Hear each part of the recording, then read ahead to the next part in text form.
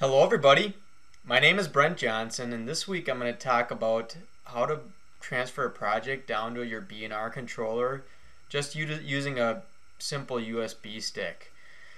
I have talked about in past videos how we would go about doing that, hardwired up, but this week I've been getting a lot of questions from customers about how to do that with just a USB stick.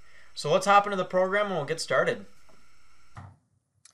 All right, here's how we're gonna how we're gonna set up so we can download a project or transfer a project utilizing a USB. First, open up your project, which I've got open right here.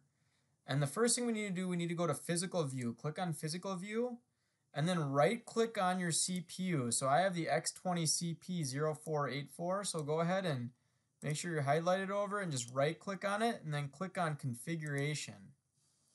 Once you get to configuration, go ahead and click on system and then go to activate USB install. We want to change this to on. Go ahead and hit save all and then you can close out of there. And then I'm physically wired into it right now with an ethernet cable. I need to transfer this on down to the to the controller so that it knows for future to look for the USB. So I'm going to go ahead and just click trick uh, click transfer. I'm going to come on over here and click on transfer. All right, I went ahead and I transferred that on down. So next what we want to do is we can unplug from it so we're not connected in. And then make sure you have your USB port plugged into your USB port of your desktop.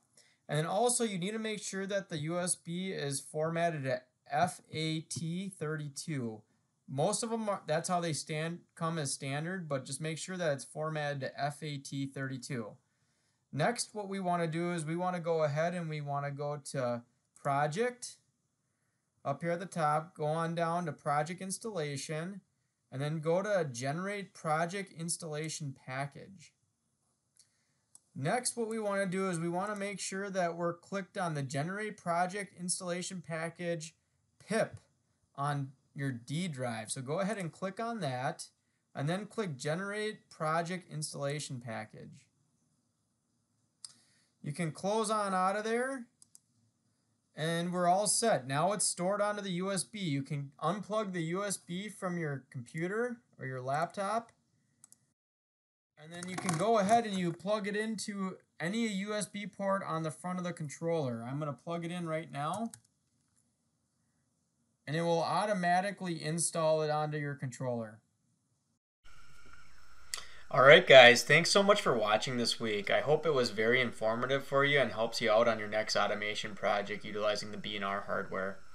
If you really like these videos, please go ahead and hit subscribe. I've got a lot of other great content in regards to automation, B&R, and some of our other product lines that we saw through Hartfiel Automation.